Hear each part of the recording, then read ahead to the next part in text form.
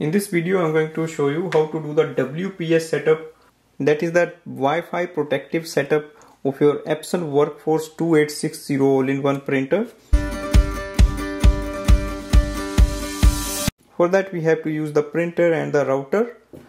First step is to go to the printer control panel, scroll ahead and click on the settings, general settings, network settings, Wi-Fi setup, Wi-Fi recommended,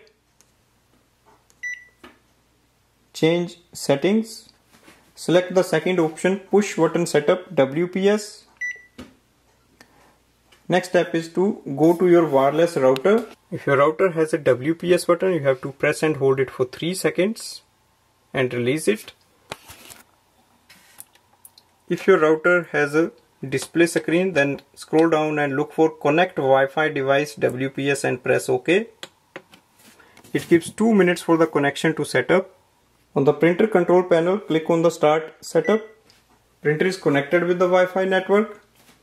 Now you can click on the home button. Click on the home button and wait for the wireless signal to show up on the top. And the next step is to add in any device for wireless printing and scanning. You can add it in a MacBook, laptop or your smartphone. Thanks for watching.